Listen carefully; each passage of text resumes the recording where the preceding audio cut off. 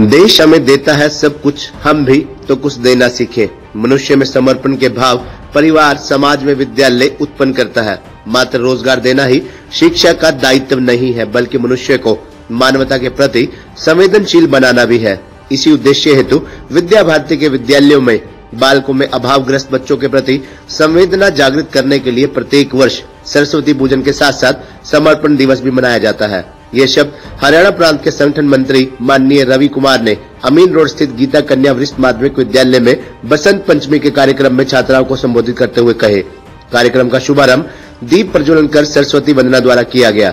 इस अवसर पर छात्राओं द्वारा कविता, भाषण, शब्द गायन व नृत्य इत्यादि विभिन्न प्रकार के कार्यक्रम आयोजित किए गए। इस अवसर पर विद्यालय की पूर्व छात्राएँ पूजा कैवाल, नेहा गोयल, नंदिनी, जागृति, दीक्षा, टीना, सरस्वती व संतोष द्वारा तथा पूर्व हिंदी प्राध्यापिका मधुबाला उपस्थित रही। पूर्व छात्रा नंदिनी ने बसंत पंचमी पर अपने विचार प्रकट किए। पूर्व छात्रा टीना में सरस्वती ने जूडो कराटे की प्रस्तुति दी। इन्होंने बताया कि अपनी सुरक्षा हेतु सभी लड़कियों को इसके गुण अवश्य सीखने चाहिए। संगठन मंत्री रवि कुमार ने इस पावन अवसर पर सभी को बधाई देते हुए नेताजी सुभाष चंद्र बोस, महाराणा प्रताप भामाशाह व स्वामी विवेकानंद जी को याद किया तथा बचपन से उनमें देश और समाज को उनके दिए गए योगदान को कहानी के माध्यम से बताया।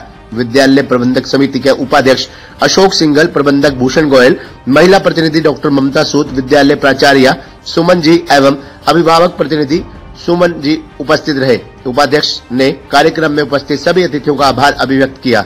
कल्याण मंत्र द्वारा कार्यक्रम का समापन किया गया। इसके पश्चात सभी को पीले चावल का प्रसाद भी वितरित किया गया। खबरनामा हरियाणा के लिए डॉक्टर राजेश वधवा की रिपोर्ट।